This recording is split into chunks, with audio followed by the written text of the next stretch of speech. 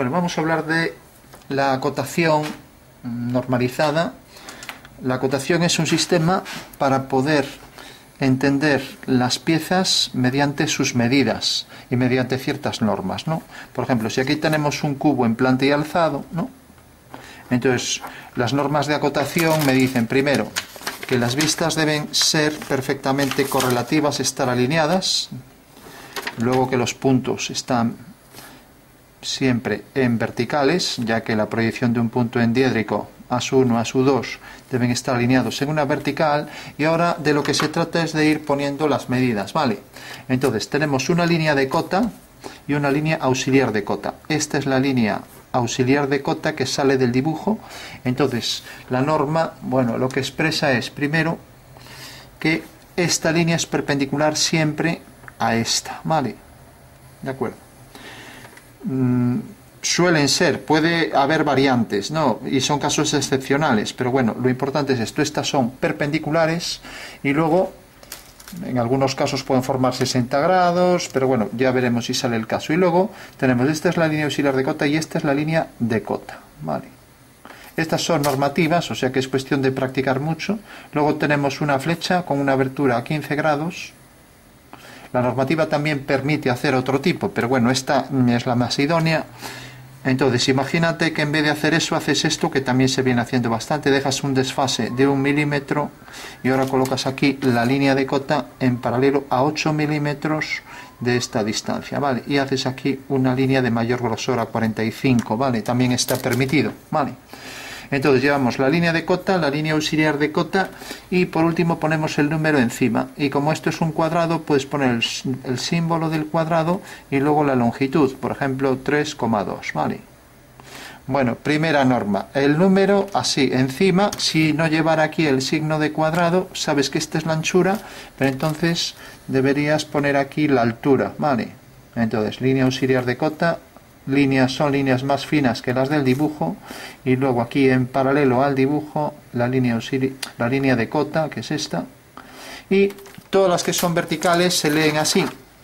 El número siempre va encima no lo pongas debajo. Eso quiere decir que como es un cuadrado esto será 3,2 entonces yo acoto esto siempre y cuando pues aquí no tenga el símbolo de cuadrado. Ahora si pongo el símbolo de cuadrado ya sé que esta media es igual que este, esta y esta. Vale ¿entiendes eso no? Entonces, por cierto, si hay que tachar algo, se tacha con una línea para saber lo que había debajo, ¿no? No se tacha con un borrón, está prohibido, ¿no? Entonces, esta es la norma, ¿no? Poner las horizontales, el número encima centrado, y las verticales para girar el papel y leerlas así, ¿vale? Eso quiere decir que ya tienes acotado entonces la altura y tienes acotada esta anchura, ¿no? Pero no sabes esta anchura. Como ahora no tenemos el símbolo de cuadrado, bueno, pues habría que acotar aquí también línea de cota a 8 milímetros de distancia, línea auxiliar de cota, 1 milímetro de desfase a lo mejor el profeta dijo que no, que no dejarais nada, que también es posible, ¿no? Aquí 2 milímetros de distancia y ahora la flecha de cota aquí y esta medida. Fíjate que no debes poner más que las que le corresponden. Hombre, más vale que sobre una que que falte, pero si falta no puedes construir la pieza. Entonces tú sabes que tiene esta altura, que tiene esta anchura, sabes cómo es este cuadrado, pero no sabes la profundidad. La profundidad te lo da la planta. Bueno, por último se exige que siempre en figuras simétricas llevan ejes de simetría, entonces una línea fina pasando por el centro con un segmento mm, mayor y otro muy pequeño, que es prácticamente un punto, ¿vale? No pongas un punto porque mm, no queda bien. Entonces haces un segmento mayor con la regla, uno prácticamente un punto, pues con la regla realmente el punto no lo vas a hacer bien. Entonces haces esto, haces casi un punto, ¿vale? Y esa es la forma de hacer los ejes. Ejes de simetría, debes ceder un poco a la pieza. Está mal si acabas ahí. Y luego aquí en el centro debe ir la cruz o sea que estaría mal, fíjate que aquí hay otro eje de simetría, quiere decir que si doblas por este eje, este trozo es igual que este, ¿vale? Y lo mismo haríamos aquí abajo. Entonces, he aquí en el centro, siempre va la cruz y no puedes poner en el centro el punto, esto está prohibido también, ¿vale? Parece un asunto trivial, pero bueno, si vamos sumando normas que debemos seguir, al final pues los objetos se entienden perfectamente. Imagínate que es un cilindro, entonces al ser un cilindro tienes en el, pues vamos a poner por ejemplo aquí en la planta tienes esto y en el alzado con el mismo grosor tienes esto. Bueno, pues esta es la planta y alzado del cilindro. Entonces tú sabes que la normativa dice que aquí debes poner la línea de tierra, que hay un eje de revolución de la superficie y al mismo tiempo, pues esto llevará a su centro y ahí tenemos ya, solo tenemos que poner aquí la flecha dirigida hacia el centro y poner aquí, como hemos solo puesto una, una flecha, ponemos el símbolo de diámetro, ¿vale? El que sea, por ejemplo, es diámetro 2,2. Bueno, voy a poner 2, ¿vale? Y luego la altura, pues por ejemplo 2,6. Entonces pongo aquí la flecha, ya sabemos que las verticales aquí 8 milímetros, las verticales deben ponerse el número aquí, para leer así. Entonces tenemos ya el eje de simetría y eje de revolución y aquí el centro con estos dos ejes, ¿vale? Imagínate que dentro de la figura hubiera un hueco cilíndrico. ¿Entiendes la figura, no? Así. ¿La ves? Sí. Sí. Bueno, esto sería lo mismo que si fuera así, ahí dentro tuviera el hueco, aquí tenemos la superficie cilíndrica. Bueno, pues tenemos ahí una norma que dice que los objetos que son discontinuos no se pueden acotar. ¿Vale? Entonces, para acotarlo necesito arrancar un trozo. ¿Vale? Entonces, arranco un trozo de esto. Entonces, si arranco un trozo, puedo ver este interior, arranco este trozo y marco un rayado que me marca que hay un corte, ¿vale? Un corte parcial, en este caso que se llama, ¿vale? Entonces convierto esto, le arranco ese trozo en el alzado, hago una línea mano alzada en plan boceto, entonces me deja ver el interior y ahora sí que tengo esto continuo, ¿vale? Y ahora ya puedo acotar. Entonces acotando aquí, ya sé que son líneas, estas líneas son finas, equidistantes y a 45 grados, siempre a 45 no se puede variar ese ángulo, ¿vale? Si son dos piezas, imagínate que son estas, o tres piezas vamos a poner. Y resulta que todas estas piezas es un corte de un objeto, entonces tenemos aquí líneas a 45, un objeto, aquí otras a 45. Ahora me dices, ah, pero es que ahora esta va a tener el mismo rayado que esta. No, porque lo, lo que haces es juntarlas o separarlas. Entonces aquí haces a 45, por ejemplo, más separadas. ¿vale? Entonces ya no son iguales que estas, ¿me entiendes? Bueno, cortamos esto, arrancamos ese trozo, por decirlo así, y ahora ya puedo acotar la profundidad aquí de este objeto. Como aquí sale de ahí, mejor ponerlo hacia el centro para saber qué es esto, porque si hubiera muchos detalles a acotar y hay líneas que salen, que solo tengo visto en algunos, salen todas por fuera, no sabes a cuál corresponde. Entonces, hay que meterse dentro los 8 milímetros podemos poner la flecha por fuera si este espacio es muy pequeño y ponemos aquí el número, ¿vale? Para leer así. Y por último tenemos aquí también la cota interna, pues también con el diámetro a 8 milímetros, ¿vale? Haces la flecha, 15 grados de abertura, una flecha llena, 15, un triángulo isósceles, ¿vale? Y pones aquí diámetro, el que sea, pues esto era 2, pues esto es 1,6. Fíjate que esto, si está aquí, debe aparecer aquí abajo. ¿vale? Entonces tendremos aquí la circunferencia concéntrica, que también se podía acotar aquí abajo. ¿no? ¿Me entiendes? Lo puedo acotar arriba, abajo. Por cierto que esta primera cota pues va a 8, pero las demás ya van a una distancia de 5 todas, ¿vale? Entonces las puedo poner escalonadas o alineadas, ¿no? Bueno, a veces encontrarás pues este signo así, una línea fina aquí, que eso significa que ahí va a haber una rosca y llevará una designación de rosca. Entonces continuamos esta línea, lo voy a poner aquí aparte ya que hay una línea de cota. Por cierto, la línea de cota tiene preferencia sobre las demás líneas, con lo cual interrumpiríamos esa línea. ¿Qué quiere decir eso? Que si tienes, por ejemplo, esto así, este corte, y tienes aquí la línea fina, que se pone incluso dentro de el rayado, pues eso quiere decir que ahí lo que tienes, a ver, vamos a poner, lo que tienes, continúas la línea esta interna, esta es de mayor grosor porque es la de la pieza, esta es la línea fina, continúas la línea fina y ahora pones aquí una línea de referencia, ¿vale? indicando aquí el tipo de rosca que tiene, ¿vale? Pero bueno, eso a lo mejor no lo veis. Entonces, esto lo que quiero decir con esto, que esto es lo que se llama una línea de referencia, ¿vale? Que siempre se refiere a una nota de un objeto, ¿vale? Que puede ser de varios tipos, eh, una rosca o un acabado, lo que sea, ¿vale? Fíjate que en una pieza a veces, imagínate que esta pieza tiene esta forma.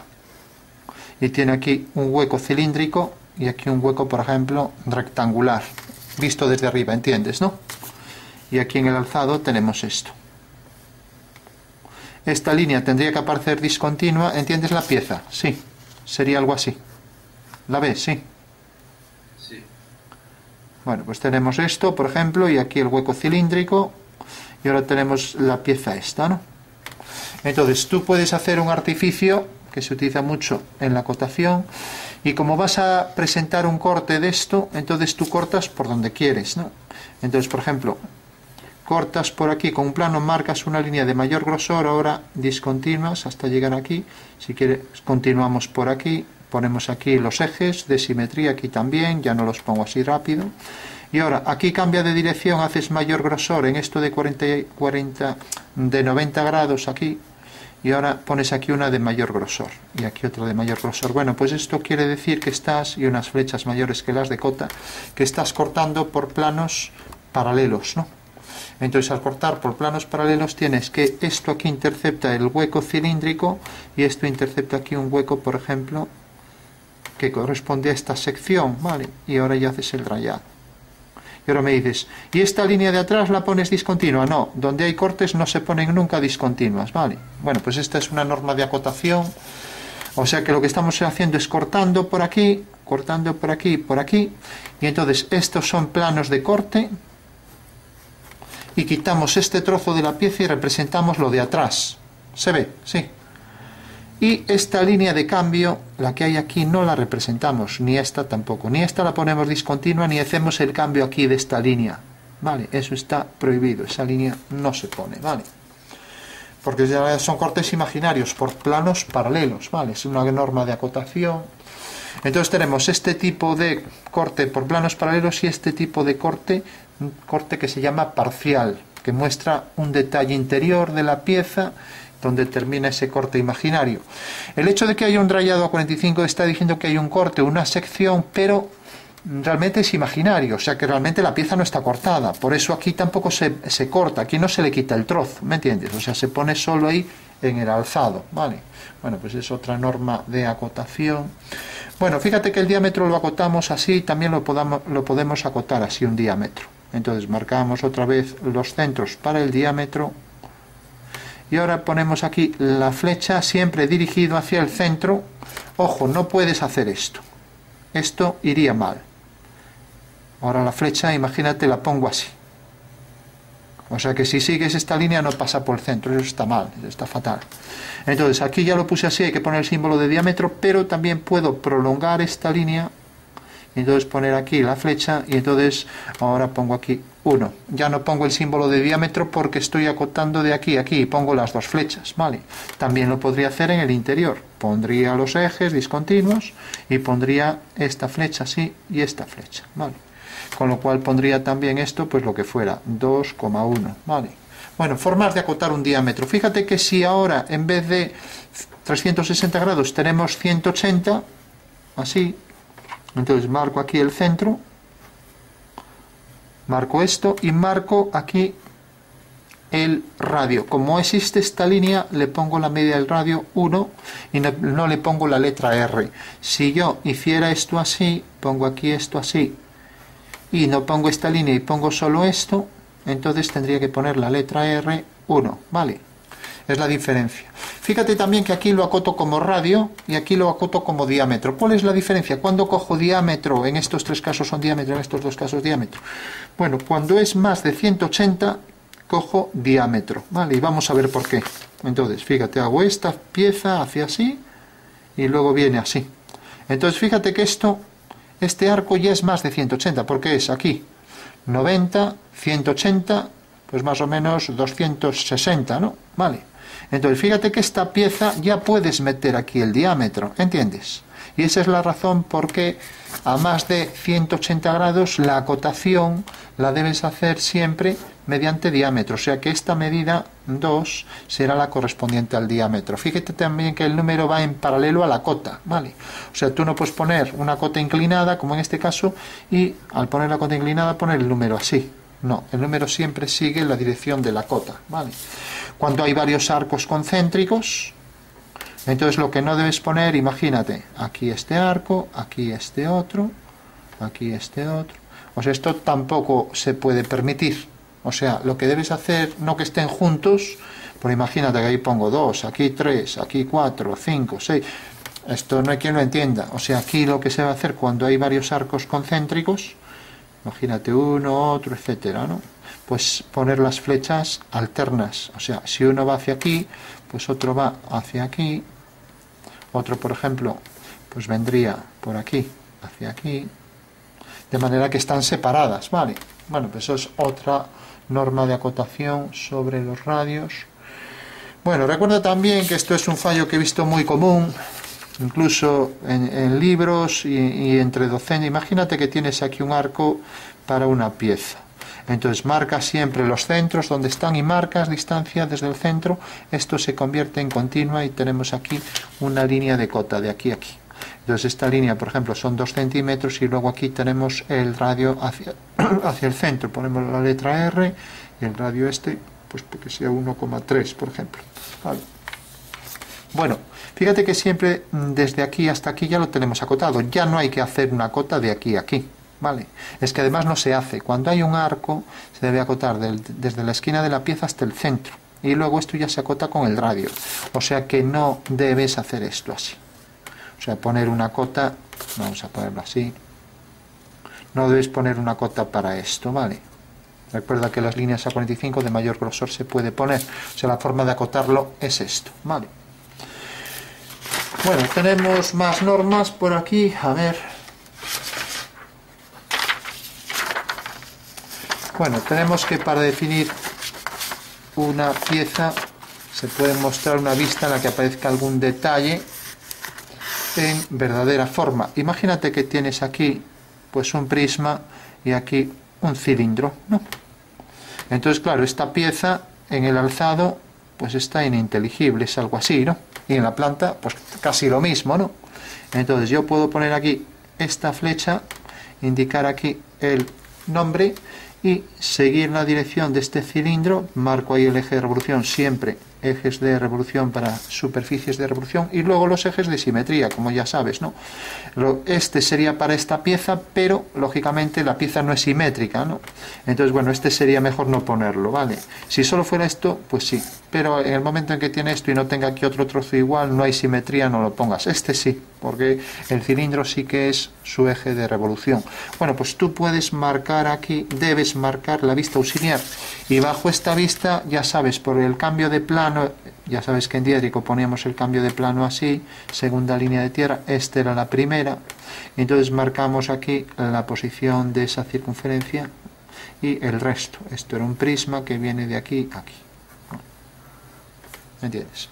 Bueno, pues esto es lo que se llama una vista auxiliar y lo que hace es definir mejor la pieza, porque tú aquí ya ves que esto es una circunferencia y ahora ya pones aquí lo que te exigen para las circunferencias. ¿vale? Vista auxiliar, entonces no ponemos línea de tierra. Cambio de plano, pues ponemos la línea de tierra. Vale, es la diferencia. ¿de acuerdo? Y luego también aquí ponemos, esta es la vista auxiliar según la dirección A. Entonces aquí pondremos, quitamos la línea de tierra, es una vista auxiliar y pondremos aquí Y entre paréntesis la escala. No respecto a esto, que ya sabemos que es la misma, sino respecto al objeto. Entonces, si de repente este objeto pues es el doble de grande, pues ya sabes que esto es la mitad. Entonces ponemos aquí la escala un medio. al lado de ese nombre, ¿de acuerdo? Bueno, también podemos hacer, imagínate que aquí hay un detalle pequeño que hay que acotar y es tan pequeño que no se ve nada. Pues puedo hacer un círculo y en este círculo voy a hacer una ampliación de esto.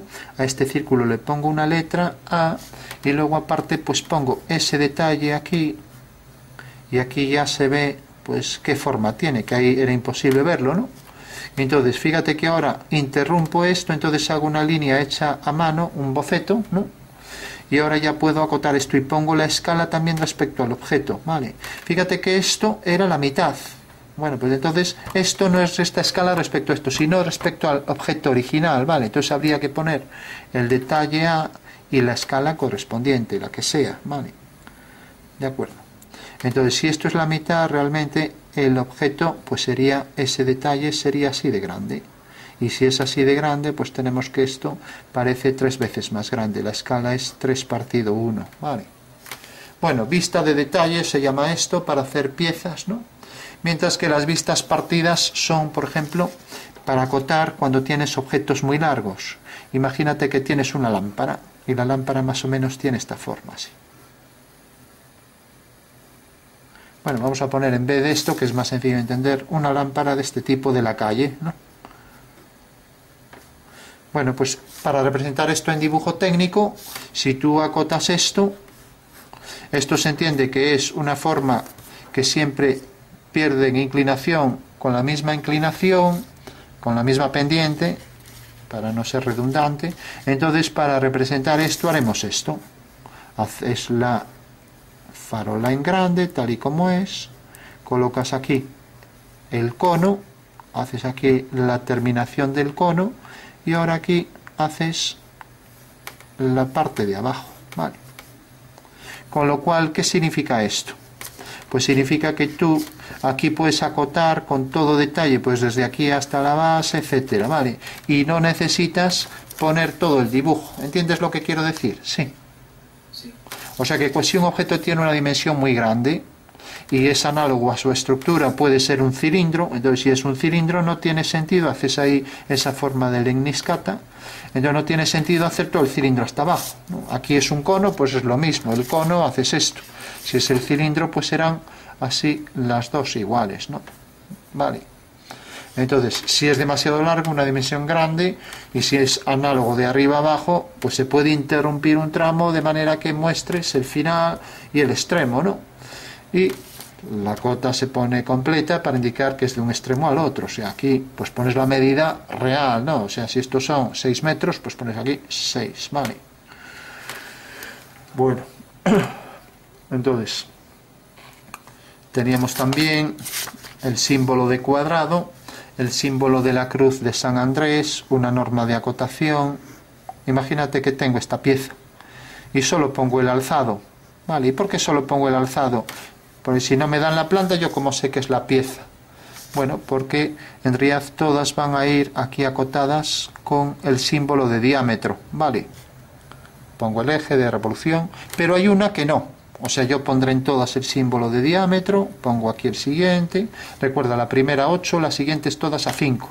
Primera a 8 de distancia, de aquí a aquí, la siguiente a 5, a 5, etcétera, ¿vale? Entonces pongo estas medidas, todas estas cotas, ¿vale? pero hay una que no lleva este cilindro, este cilindro, cilindro, cilindro, y esta lleva esta línea, y esta línea cruzada. ¿Qué significa esto? Normas de acotación. Pues esto es lo que se llama la cruz de San Andrés, que significa que es una línea fina, otra línea fina, dos diagonales, que representa que esta forma es plana, o sea que esto va a ser un prisma, ¿vale? Entonces podemos acotar el prisma, si queremos lo acotamos aquí debajo, vendría ahí abajo y pondríamos de sección cuadrada, por ejemplo, y luego la medida de aquí a aquí. Pues la que sea, si esto es 7, pues esto parece casi igual, 7, ¿no? Bueno, Cruz de San Andrés, vale. si hacemos una esfera, fíjate que la circunferencia ya vimos cómo se hacía, pero la esfera lleva la denominación de esfera. Para diferenciarla de una circunferencia, pues pondremos aquí, por ejemplo, el diámetro y luego pondremos la esfera y luego pondremos el tamaño del diámetro, ¿vale? Pues por ejemplo 1,3, ¿vale? Bueno.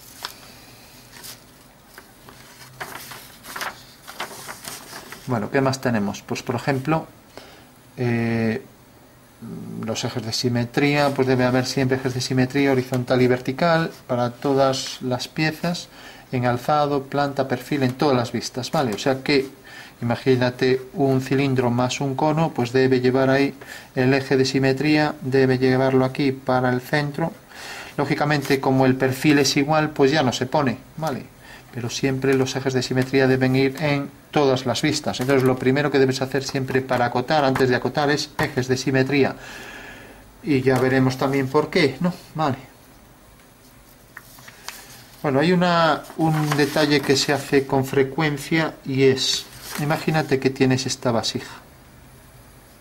Si esto se hace mucho en acotación, ¿no?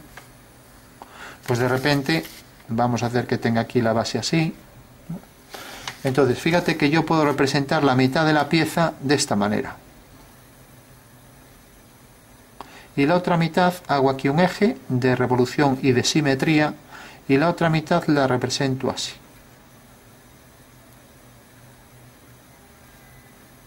Aquí hago esto.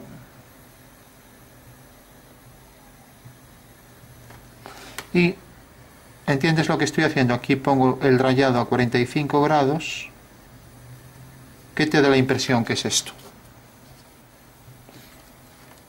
Un jarrón partido a la mitad. Exacto. Bueno, pues esto es lo que se llama el corte de cuadrante, o sea que la mitad de la pieza parece cortada. Eso quiere decir que si este es el objeto en 3D, imagínatelo así, ¿no? pues de repente le quitas aquí este cuarto, entonces te deja ver la mitad, aquí tenemos esto, el interior, ¿no? Fíjate que aquí al hacer el corte le arrancamos este trozo y la mitad de la pieza aparece por fuera y la otra mitad aparece la parte interna. Entonces ya puedes acotar aquí, por ejemplo, empezar a acotar la parte interna. Aquí acotaríamos los centros, pondríamos aquí esto para el radio, pondríamos distancia entre centros en horizontal y en vertical, y ahora pondríamos también aquí la distancia intentando que no se solaparan pondríamos aquí esta cota, pues por ejemplo 5, etcétera, ¿no? Bueno, fíjate que así de esta manera puedo acotar el interior y aquí el exterior, ¿no? Entonces aquí en el exterior puedo ver cuánto mide esto, cuánto mide de aquí a aquí, entonces pongo estas todas alineadas, ¿no? Entonces, distancia de este centro a esta línea, pues por ejemplo 4. Distancia de aquí a aquí, por ejemplo, 1. ¿Vale? ¿Entiendes? Entonces, parte exterior, parte interior. Por supuesto es un corte imaginario, no te vas a cargar la vasija, ¿no? Entonces, y ahora podemos acotar aquí el centro, etcétera. Todas estas medidas, habrá que sacar esta cota hacia afuera, ¿no? Podemos ponerlas alineadas o poner, ponerlas también escalonadas, que quiere decir que si el objeto tiene así varios trozos, pues podemos empezar a acotar este 8 milímetros, el siguiente aquí ahora a 5, el siguiente aquí a otros 5 y vamos poniendo estas cotas entonces tenemos la primera medida es 1, la segunda 3, la tercera 6, etcétera, ¿no? Entonces fíjate que esto es la forma escalonada, ¿vale? Recuerda, primera 8, 5, 5, distancias, ¿vale? Bueno, corte de cuadrante, fundamental en dibujo técnico, ¿vale? Te lo va a pedir continuamente, ¿no? Bueno. Hay un corte de hecho mm, lo que se llama, bueno, por ejemplo, también hay un, lo que se llama un patrón centrado. ¿no? Imagínate un tapacubos de un coche. Tiene aquí unos huecos para refrigerar los frenos de tambor o de disco, lo que sea, ¿no? Vale, bueno, pues fíjate que estos son círculos concéntricos, ¿no? Y es lo que se llama un patrón centrado. Entonces marcaremos aquí un eje de simetría que pase por los centros de la figura y ahora marcaremos aquí estas líneas que pasan hacia el centro, ¿vale? O sea que del centro salen estas líneas. O sea que aquí los ejes de simetría discontinuos pasan por los centros, y esto es lo que se llama un patrón centrado, y ahora transformaremos esto en dos líneas continuas y acotaremos esto, por ejemplo, con el ángulo que tiene. Pues imagínate, esto tiene, por ejemplo, un ángulo de 70 grados, ¿vale? Sexagesimales, ¿de acuerdo? Bueno, patrón centrado muy utilizado en dibujo técnico cuando hay una simetría radial, objetos que giran en torno a un eje, ¿vale? Bueno, normas, elementos que están prohibidos en la acotación. digo, son ya fallos garrafales de acotación. a ver, por ejemplo esto. Imagínate que una pieza es así. Primero, poner aquí la flecha, así. No podemos coger el objeto y coger las líneas del objeto como si fueran líneas auxiliares de cota. O sea, siempre se deben sacar fuera. O sea que la forma de hacerlo pues será esta, así. Vale. Los acotamos así y aquí lo sacamos fuera. Uno. Vale. Entonces, prohibido. ¿Se entiende, no? ¿Lo entiende? Sí. A ver qué hacer con más el foco, que parece que la luz aquí... Bueno. ¿Qué más tenemos? Pues, por ejemplo, otra cosa terminantemente prohibido. Tengo, por ejemplo, aquí esta cota y voy a acotar, por ejemplo, aquí esta cota. Imagínate, lo voy a hacer aquí. Así. He puesto ahí esa mal y pongo aquí otra. Bueno, fíjate que aquí tengo una línea auxiliar de cota y pongo esta, esto y esto. Entonces pongo aquí la medida. Terminantemente prohibido. Una línea auxiliar de cota no puede ser el dibujo. Tengo que sacarla fuera, o hacia abajo mejor, ¿no? Tampoco se pueden cortar entre ellas. No puedo poner aquí otra flecha que corte a la anterior. Eso también está terminantemente prohibido. Las flechas nunca se pueden cortar, jamás. A lo mejor ves que estas se cortan. Que estas se cortan, te voy a decir cuáles. Pues imagínate que tienes esto así. Y de repente, pues eh, tienes aquí este detalle. Y ahora esta línea viene por aquí. Y entonces aquí tienes la línea de cota esta. 3 y aquí por ejemplo 10. Bueno, pues fíjate que esta sí se corta con esta, ¿no?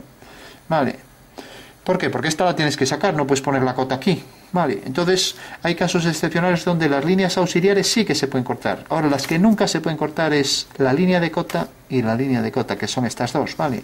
O sea, las que llevan la flecha. Esas nunca se pueden cortar, bajo ningún concepto, ¿vale? Y ya digo, estas excepcionalmente. Hay que intentar evitarlo, pero a veces no se puede, ¿no? Vale. No veo la figura, hay mucha luz. ¿Hay mucha luz? Pues yo aquí no veo luz ninguna. Ahora, ahora. Ah, vale. Bueno. Mesa luz y entonces no veía los oscuro. Vale. Bueno, fíjate que ahí te ponían en esos eh, papeles que tenías que, por ejemplo, esto estaba mal. Así. Bueno, pues eso está bien, eso está bien. Es más, voy a ir más lejos. Si yo tengo una figura, imagínate esto. Esto es un trapecio, ¿no? Si yo acoto esto así,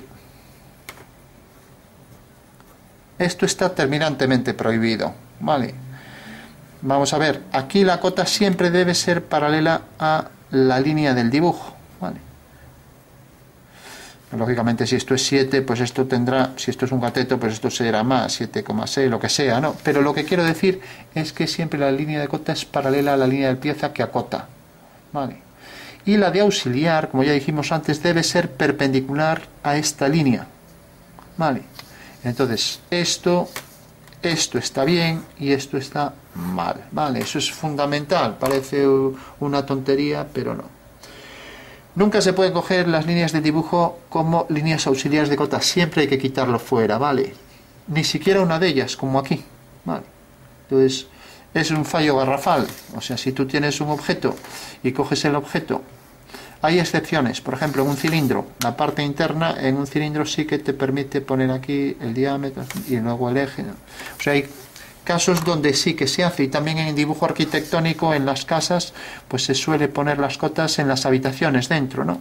Porque si las sacas todas fuera, es verdad que en arquitectónico hay las normas de acotación, vamos, se las acaban pasando por el forro porque llega un momento en que eso, vamos, no hay quien lo entienda, ¿no? Entonces, bueno, yo entiendo que sí que en arquitectura se cometen fallos. Bueno, eh, la línea auxiliar también debe sobresalir, como ya habíamos dicho, 2 milímetros, ¿vale? O sea que cuando pongo aquí la línea, entonces respecto a la flecha debe exceder 2 milímetros, ¿vale?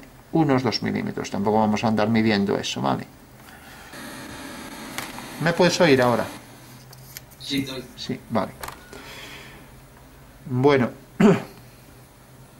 Mm, hay otra cuestión, y esto es importante, es que las cotas siempre deben ser las justas para la definición y las máximas en una sola vista. O sea que si en un objeto puedo poner, imagínate que el objeto tiene esta forma y de repente el alzado es esto, es un trapecio extruido, pues yo puedo acotar, por ejemplo, aquí esta medida, puedo acotar aquí esta medida a 8 milímetros y puedo acotar esta. Ya no hace falta que acote esta. ¿Por qué? Porque si ya tengo estas tres, pues bueno, ya sé que aquí uniendo este punto con este ya tengo, vale, tengo toda la planta acotada, ¿vale? Lógicamente la altura del objeto, el alzado, lo debo acotar también, ¿no? Porque esto no sería suficiente, yo no sé la altura nunca, aquí no puedo poner la altura. Entonces aquí pongo esta medida, la que sea 7, aquí 8 y aquí 12. Fíjate entonces que aquí acoto las mayores. Entonces hay una norma que dice que la altura del objeto debe estar acotado siempre en el alzado lógicamente porque la planta no se puede. Y luego las cotas deben ser justas para definir, no se deben poner de más, entonces no tendría sentido poner aquí el valor de la hipotenusa, tal y como vimos antes, no tiene objeto, ¿no? Porque ya estamos acotando todo, ¿no? Y se intentará poner siempre las máximas en una sola vista. O sea que si una vista puede llevar casi todas las cotas, mejor que si repartes al 50%, ¿no? Vale. De acuerdo. Bueno, pues es una, una cosa muy importante. Hay otra cosa muy importante que es un fallo garrafal, es esto. Imagínate que tienes una circunferencia en una pieza para un cilindro, un hueco cilíndrico, lo que sea. Pones aquí los ejes, como exige la normativa, excediendo un poco la circunferencia. Y ahora cotas, por ejemplo, de aquí a aquí. Terminantemente prohibido. Esto no se puede hacer. Siempre se acota respecto a los centros. O sea que debo coger el centro y una vez que tengo esto, marco distancia desde el centro hasta el final de la pieza. Entonces esto está bien. O sea que en los arcos nunca cojas un punto que no sea el centro. Esta línea que era discontinua y que pasaba por la circunferencia ahora se convierte en continua fina para poner aquí la cota, ¿vale? Pero nunca cojas un punto de los cuadrantes u otro punto de la circunferencia. Está terminantemente prohibido, ¿vale? Bueno, ¿qué más tenemos? pues tendría la vista auxiliar de un objeto, vamos a coger otra hoja.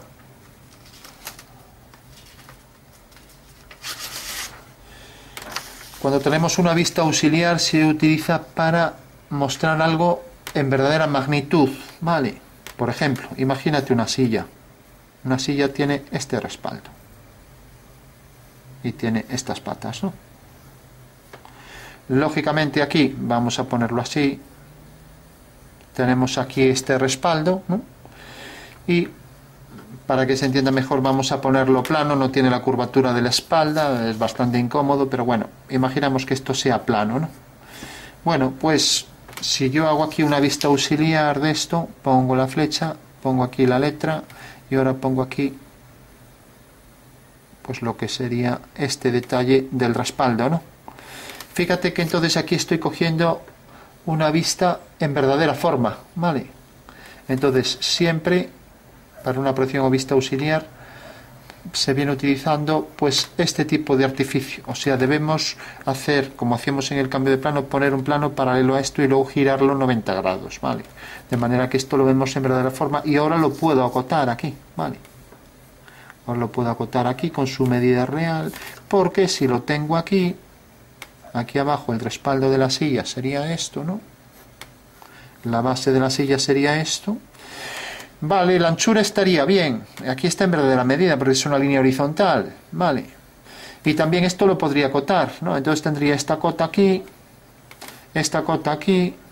Pero recuerda que hay una norma que dice que si podemos coger un objeto y en el mismo objeto acotar el mayor número de medidas, entonces tengo aquí esto y al tener aquí más medidas, pongo aquí los ejes de simetría, pues esto está mejor que si lo hago a trozos, ¿me entiendes? O sea que la proyección o vista auxiliar que hacemos aquí, que es el cambio de plano en diédrico, o sea, proyectar la silla aquí, pues claro, si proyecto la silla, proyecto estos dos elementos de la silla, proyecto esto aquí, esto aquí, y ahora las patas con la forma que tenga proyectando aquí pues las de atrás por aquí a esta altura y las de adelante a esta altura no o sea que tendríamos ahí las cuatro patas así ¿qué pasa? que me interesa acotar aquí entonces aquí tengo ya acotado todo el respaldo y no lo hago a trozos no bueno entonces fíjate que las vistas auxiliares muestran las verdaderas formas del objeto ese es el interés ¿no?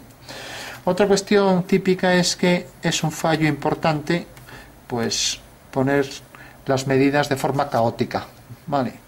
Entonces yo no puedo poner, por ejemplo, aquí esta medida vamos a hacer aquí otro objeto, ¿no? Entonces pongo aquí, por ejemplo, esta cota, luego pongo la siguiente, por ejemplo, así,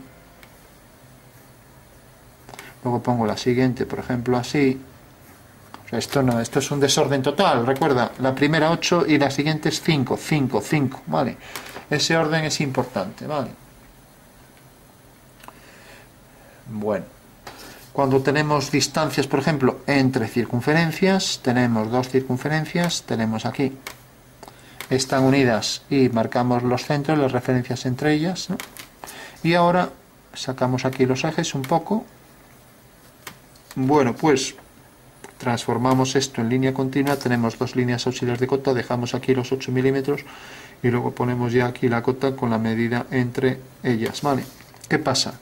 Que yo esto lo saco fuera, yo lo que no puedo poner nunca es la cota encima, o sea, imagínate que no pongo esto y lo pongo aquí.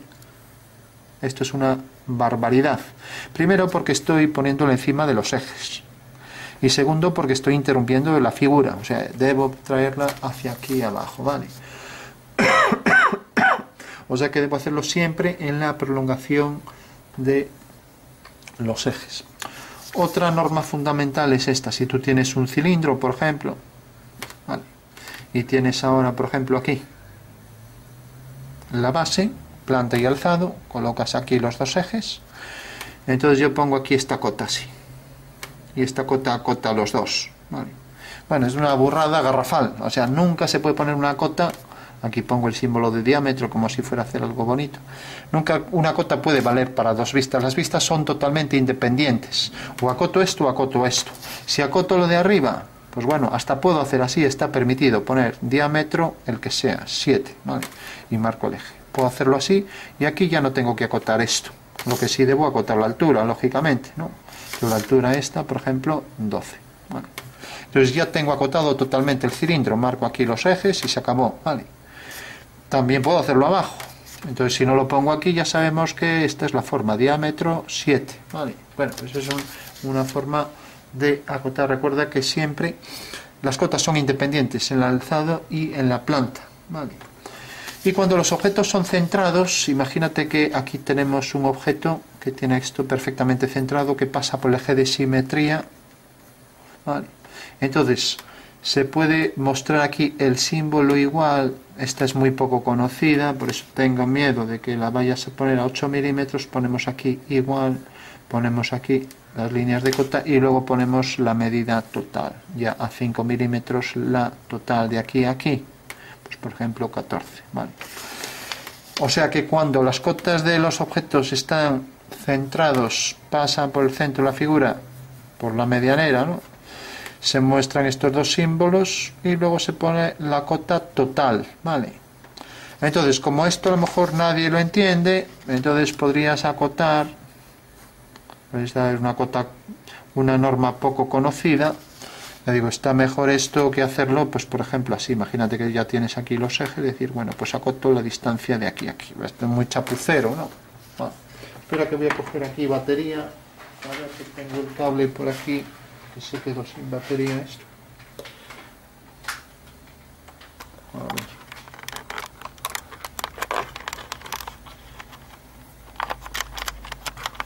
Bueno, estas normas de acotación son convencionales para que se entiendan. Lógicamente, por mucho no puedes estudiar de golpe esto, tendría, habría que hacer muchos dibujos y practicar todo esto. Es la forma de aprender, que se vayan corrigiendo todos estos fallos, ¿no? Bueno, pues lo que decía esto, pues no está bien hecho. Entonces, lo que pasa que esto también lo conoce poca gente, ¿no? Pero bueno, o sea que mm, no se debe acotar nunca mm, a la mitad de la pieza, ¿vale? Bueno, fíjate que otra de las normas dice que el alzado es la parte más representativa de la pieza. Otra cosa que el objeto tenga una clara disposición eh, horizontal, entonces no hay nada que hacer. O sea, si es un pedestal de un objeto o un plato, el plato se apoya de manera que esta es la forma del plato, por ejemplo, y tiene esta disposición, ¿no? Entonces sí, en la planta debe aparecer eso visto desde arriba. Pero hay objetos donde no está claro lo que es la planta, lo que es el alzado, ¿entiendes? O sea que En objetos cuya disposición es realmente horizontal sí que debe colocarse tal y como es. Y el alzado es la parte más representativa del objeto. ¿Qué significa representativa? Pues significa que si tú ves un coche y lo ves así, imagínate, tú te vas a enterar de qué coche es, ¿no? O sea, tú un coche así lo puedes reconocer. En cambio, esta vista no la vas a conocer visto desde arriba. Ves desde el balcón un coche, por ejemplo así, ¿y qué coche es este? Pues no tengo ni idea, ¿no? Marcamos los ejes, aquí igual, para las ruedas. ¿Qué coche es? No sé. Este sí, porque lo ves en alzado. Entonces, eso quiere decir que es la parte más representativa, es realmente cómo se reconoce el objeto.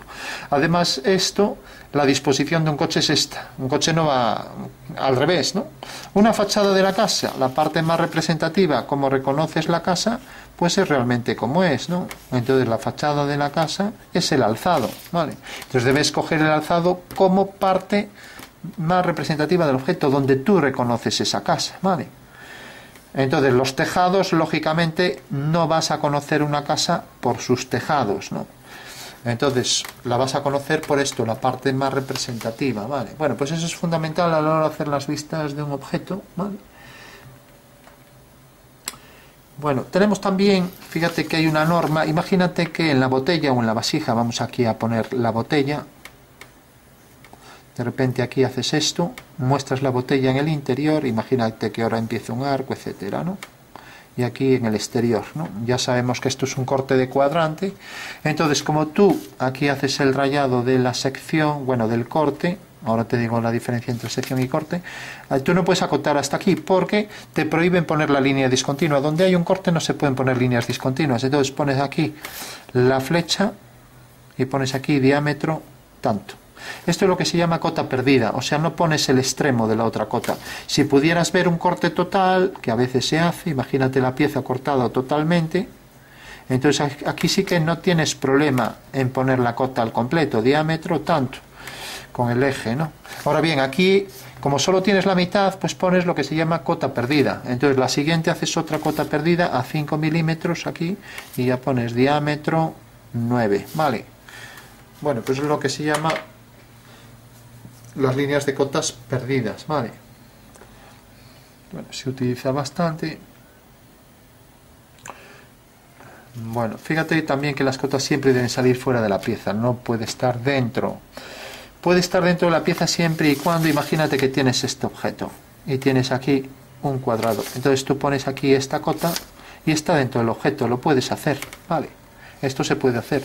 Ahora, lo que no puedo hacer es esto, por ejemplo, coger el objeto y decir, bueno, pues por ejemplo, quiero marcar la posición, por ejemplo, de, esta, de este hueco cilíndrico, tengo aquí los ejes, y digo, bueno, pues la distancia de aquí hasta aquí es tanto. No, porque estás cogiendo la línea auxiliar de la pieza, esta es la pieza, estás cogiendo la línea auxiliar como línea auxiliar de cota, la línea auxiliar como línea, la línea del dibujo. La línea del dibujo y la auxiliar son distintas. Entonces tú tendrías que hacer esto continuar por aquí y poner aquí la cota. Tienes aquí ya tu línea auxiliar, tienes la línea del dibujo esta. La línea del dibujo debe llevar más grosor que la línea auxiliar y de cota, que van finas, ¿vale? Bueno, pues es otra norma fundamental. Fíjate que aquí no se podían poner las líneas discontinuas, ¿vale? Pero si no hago un corte, en los cortes, los cortes son incompatibles con las líneas discontinuas. Pero imagínate que no lo hago y tengo aquí pues esta botella, por ejemplo. A ver aquí una superficie tórica, pongo el eje y ahora la norma me dice que las partes ocultas de un objeto siempre se representan mediante líneas discontinuas, ¿vale? O sea que el interior del objeto, todo por aquí, deberé ponerlo todo. ¿Qué quiere decir? Que esa es la parte interna y ahora ya no hago el rayado. El rayado es cuando es corte. Esto es la parte interna y la parte interna es una parte oculta que no se ve, es el contorno de ese grosor y sí que es obligado poner las líneas discontinuas, ¿vale? Bueno, pues es otra de las normas de acotación. Recuerda que nunca se pueden acotar formas discontinuas. Yo no puedo poner aquí esta flecha. Fíjate que esta flecha valdría aquí. Aquí sí que puedo poner el grosor y es uno de los casos donde realmente puedo acotar el grosor de la pieza y estoy cogiendo las líneas auxiliares como las líneas del dibujo del objeto, ¿vale? En este caso puedo acotar el grosor, bueno, si esto es 7, esto sería otro número, vamos a poner, por ejemplo, 2, ¿vale? O sea que en este caso puedo hacerlo, ¿vale? Pero las discontinuas nunca las puedo acotar bajo ningún concepto, o sea que esto estaría radicalmente mal. Discontinua jamás se acota, ¿vale? Es otra norma fundamental. Bueno, fíjate que un objeto si tiene forma trapezoide y estas líneas son casi verticales, pero tienen una inclinación pequeña, ¿vale? Si yo pongo aquí la línea de cota, casi coincide con la del dibujo, ¿no? Entonces, para evitar esto, puedo hacer una en forma oblicua. Entonces, en este caso sí que puedo hacer, fíjate que las líneas auxiliares de la cota forman cierto ángulo respecto a esto, o sea, no salen ortogonales, como decíamos siempre, ¿no? La línea de cota siempre ortogonal, ¿no? En este caso puedo poner aquí la línea de cota y sin problema pues pongo aquí la flecha. En este caso me está permitido, ¿vale? Porque la línea auxiliar casi coincide con la del dibujo. Si tiene un ángulo de 5 grados o de 3, ahí va no se va a distinguir, ¿no? Vale. Bueno, bueno, pues eso, mm, eso todos los temas. Y también hay una norma que dice que en las piezas siempre se deben mostrar los centros de los arcos, sobre todo si facilita la lectura. Eso quiere decir, imagínate una pieza como esta, así. Entonces marco aquí el eje de simetría, aquí pongo el segmento mayor. Lógicamente aquí el hecho de poner los centros ya me va a facilitar la construcción de la pieza, ¿entiendes? No? O sea que es clave poner los centros. Y ya no digo si un objeto está lleno de curvas, como la vasija, una letra, lo que sea, entonces marco todos los centros para ver realmente por dónde van. Imagínate ahora este centro aquí, otro que quedará alineado con este para el siguiente arco, etcétera. O sea que es fundamental para hacer la pieza inteligible que realmente vayan marcados siempre pues el mayor número de el mayor número de centros deben ponerse todos, ¿no? Pero bueno. Bueno, mm, decir también que las líneas auxiliares no pueden servir para una única línea de cota, ¿vale? ¿Qué significa esto? Pues por ejemplo, imagínate que tienes un objeto que tiene esta forma así, este objeto. Y de repente acotas de aquí a aquí, se puede acotar el interior, ¿vale? Bueno, pues ya tenemos esta medida, ¿vale?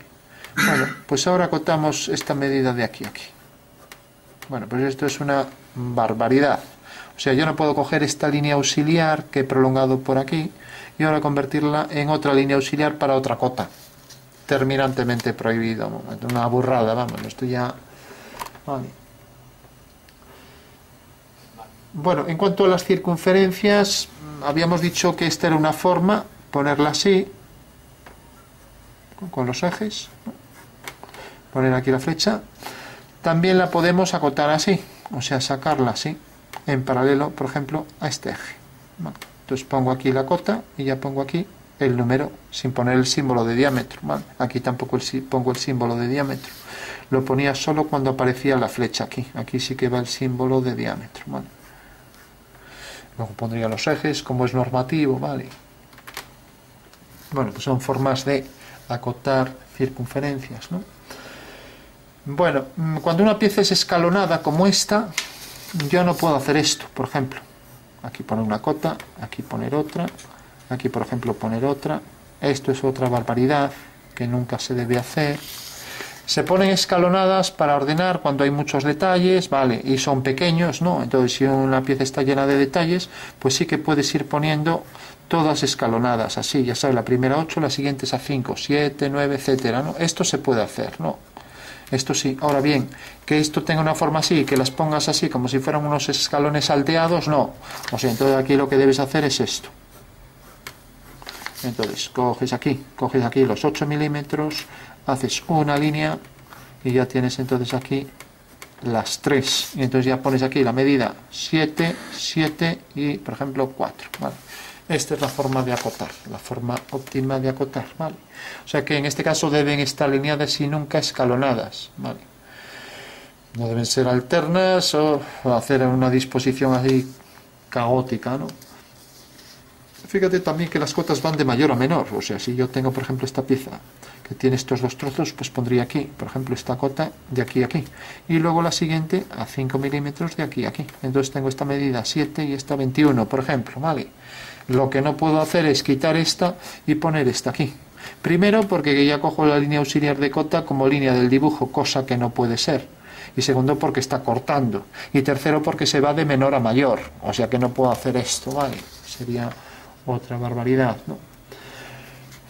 Bueno, otra cuestión sería, si yo, por ejemplo, imagínate que tengo otra vez el cilindro, ¿no? Entonces tengo la planta y alzado del cilindro, entonces siempre debemos acotar en una sola vista el mayor número de elementos.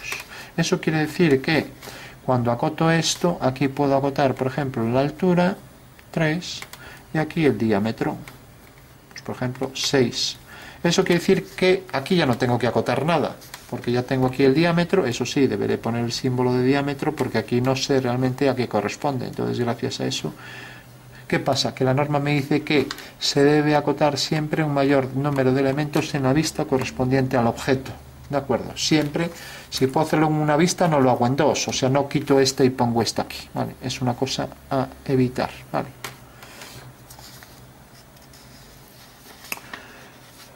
Bueno, ¿qué más tenemos? Pues, por ejemplo, para acotar ángulos, ojo con esto que es un fallo típico, imagínate que tenemos aquí esta pieza, entonces prolongamos esta línea, esta es una línea auxiliar de cota y ahora hacemos aquí este arco.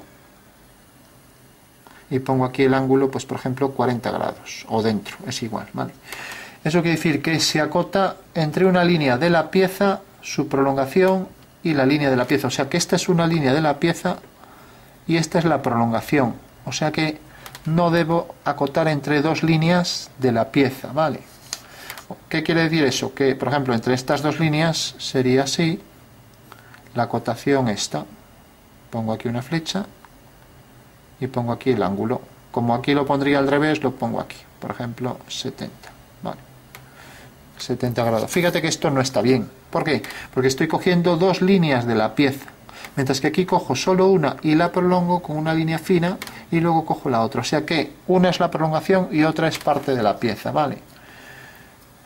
Bueno, entonces, la otra forma es también que esto está para leer, a la derecha y si esto lo pongo así, pues podría colocarlo también así, aquí, 40 grados, ¿vale? Si me viene mejor. Tacho esto, porque ya sé que a la derecha pues vendría bien. Ahora bien, imagínate que el arco llegara hasta aquí y pusiera aquí el número, no, así ya no se pone, ¿no? Porque nunca giro hacia este lado, o sea, hago esto y hago esto, con lo cual tengo que ese número me vale de esas dos formas, ¿vale? Bueno, pues sería otra norma de acotación. Fíjate también que antes decíamos que la forma de indicar un corte, imagínate esta pieza que tiene aquí este detalle y hago un corte por aquí, marco una línea de mayor grosor, mayor grosor y ahora discontinuas finas, ¿vale? Y aquí el eje y entonces pongo aquí una flecha pongo aquí una flecha lo que estoy indicando es que quito este trozo corto por aquí ¿qué veo detrás de esto? veo este trozo de la pieza y detrás de esa pieza detrás de este plano veo ahí el hueco cilíndrico por ejemplo ¿no? y pongo los ejes ahí ¿vale? y entonces ya marco el rayado a 45 ¿vale? esto es lo que decíamos que era un corte por un plano entonces la norma me dice que si esto pasa por el centro imagínate un tapón entonces tengo aquí el tapón de una botella, que es este. Entonces está cortado y pasa por el centro de la circunferencia. Entonces si pasa por el centro, cortará según este corte. Bueno, lo ves, ¿no? ¿Qué pasa? Que como pasa por el centro, entonces si el eje pasa por el centro, no se indica si coincide aquí con el eje de simetría, los dos ejes centrales de la circunferencia que ponemos, los principales que llamamos, aquí como coincide con esto, no ponemos esto, ¿vale? Con la línea de mayor grosor aquí. Esto no se pone. ¿Por qué? Porque pasa por el eje central de la figura, ¿vale? Es otra norma importante. Si no pasara por aquí, sí. Imagínate que el tapón tuviera aquí, pues este detalle, y quieres hacer un corte por aquí. No tendría mucha lógica, porque el corte se haría por aquí, ¿vale? Por ejemplo, hacia esa dirección, con lo cual tendrías aquí en esta vista, podrías ver ese bulto que es realmente, ¿no? Vale. Pero, ya digo, si pasa por el centro nunca se hace, y en este caso también lo haríamos pasar por el centro, ¿vale? Bueno, pues es otra norma fundamental. Y bueno, mm, siempre podríamos seguir haciendo muchas más normas, pero yo creo que en general con esto ya puedes agotar cualquier pieza a nivel de bachiller. Pero ya te digo, hay muchos, hay un libro para cada, para cada cosa casi. Esta es la norma UNE, una norma española que coincide prácticamente en todo con la norma internacional, internacional estándar organización, ¿no? y las normas de AENOR, ¿no? Realidad todo esto lo que busca es unificar que bueno, podamos seguir normativas para tener todos el mismo lenguaje, igual que en lengua, pues todos escriben sin faltas de ortografía, bueno, aspiran a hacerlo, ¿no? Aquí tenemos la norma española y la europea, la ISO, ¿no? Pero bueno, luego hay normas, la alemana, la DIN, hay la NADI, también alemana, hay por ejemplo la ASA, que es la americana, ¿no?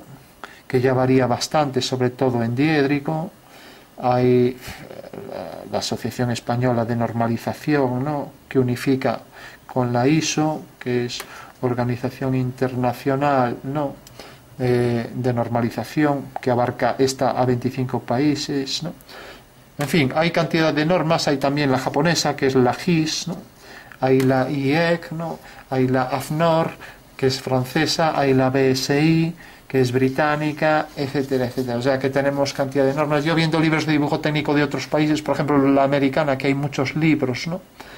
Pues eh, cantidad de libros, pues eh, eh, que ves tú, por ejemplo, la línea de tierra nosotros la ponemos así, ¿no? Pues en la americana pues lo hacen así. Dos segmentos, dos segmentos y esto, ¿no? Empiezas a ver las normas, luego la planta y alzado la varían de posición, ¿no? Hacen una cosa totalmente distinta, ¿no? Y claro, eh, por eso decimos norma americana, norma europea. Pero bueno, ya digo, nosotros vamos a hacer la europea, que ya nos llega bien, que ya son muchas normas y, y bueno. Y claro, cuando alguien coge un libro americano, yo tengo varios libros americanos, y bueno, tengo que hacerme la idea de que la planta las puedo intercambiar. La planta pasa al alzado y al alzado a la planta. Y así se entiende. Si no, si no, no lo vas a entender. Estás acostumbrado a la otra forma, ¿no? Bueno, hay un vídeo explicativo de cómo obtener las vistas en americana, ¿no? Por poner un ejemplo. Porque luego ya te digo, las otras normas de otros países también tienes variantes. Pero bueno, como es la americana la que encuentras libros por todas partes, ¿no? La normativa americana, que es pues la normativa ASA, que es así, ASA, American Standard Association, ¿no? Vale.